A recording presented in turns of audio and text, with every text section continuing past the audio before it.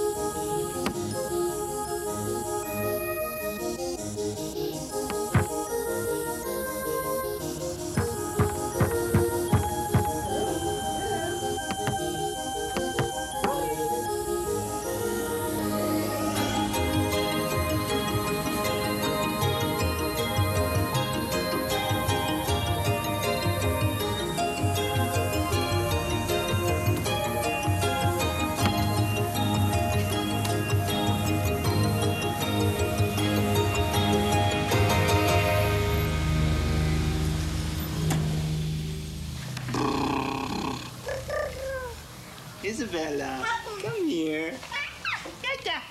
Come here, Isabella. Discovery and play are through my work. Just like Isabella, my daughter, my wife's and my daughter, everything she experiences is new for her. Right now, she's just learning how to use her hands. Bye. When I was a kid, I loved sports, and we uh, we played sports all the time. My father loved to play golf, Isabella. and he taught my brother and I. And when we were four years old, we started to play golf.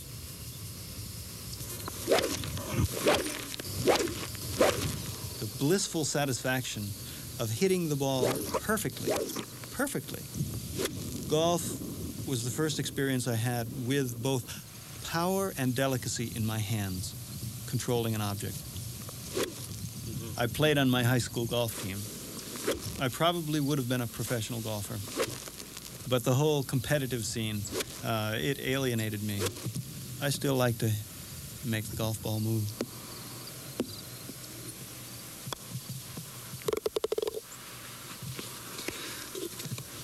Then I found juggling and acrobatics. When I first came to New York City, I started performing on the streets and in front of the Metropolitan Museum of Art.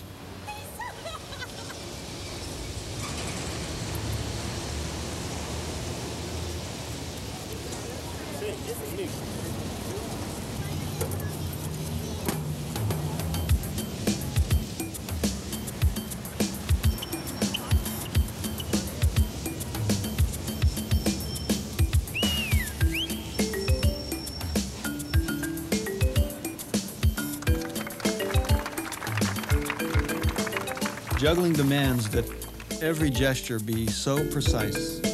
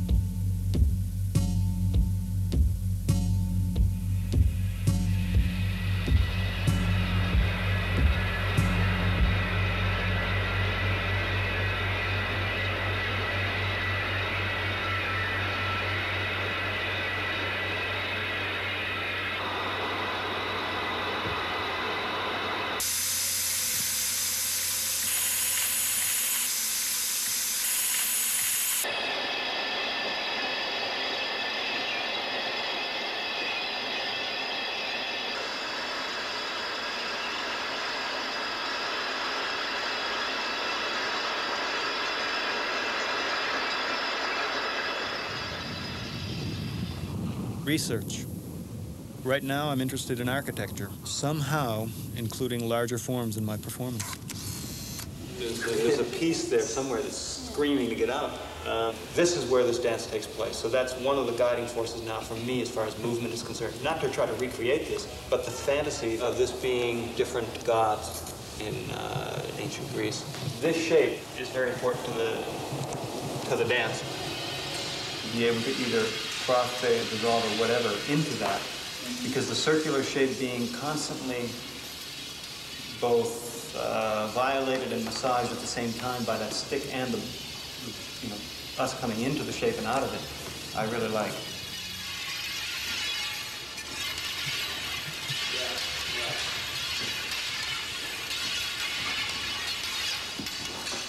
This is the, what we're doing now is just the beginning of a much larger piece that I'm going to have to make. It's going to take a long time.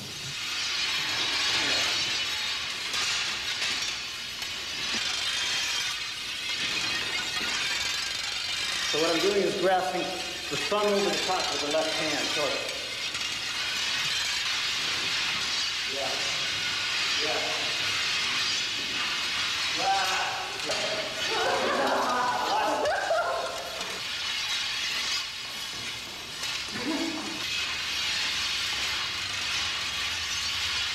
I don't know how you. Yeah. Okay, John. Wait a second. But you gotta go completely.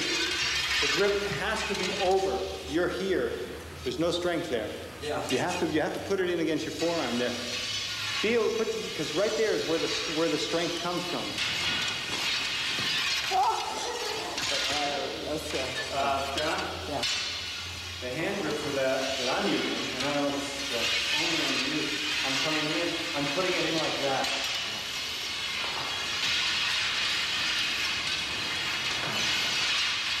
ああ。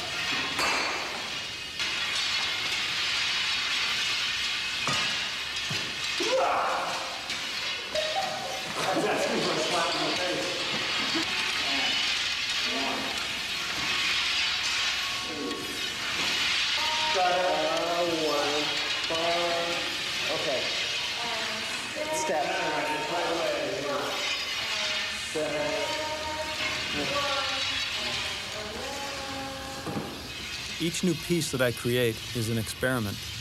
There's a risk. But that's the only way to discover something truly original and new and alive.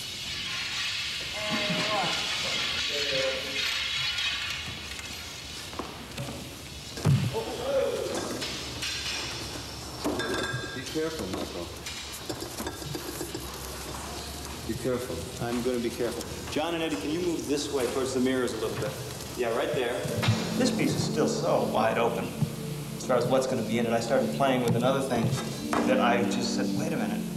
If, you know, slightly towards the mirror. Right there, bingo.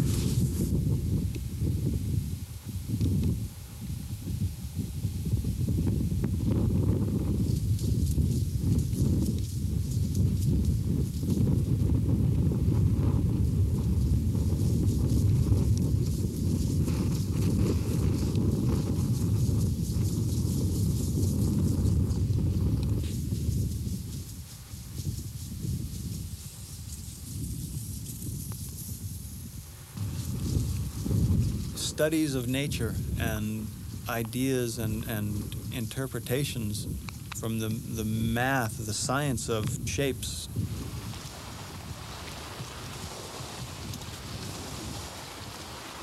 References from other artists, um, the sculptor Brancusi or Da Vinci, or my good friend sculptor John Kahn, or even my grandfather who was a stonemason, Angelo Moschen.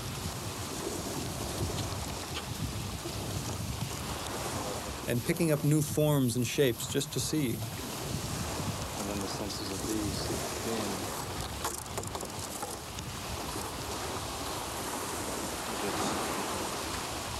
No. There you go.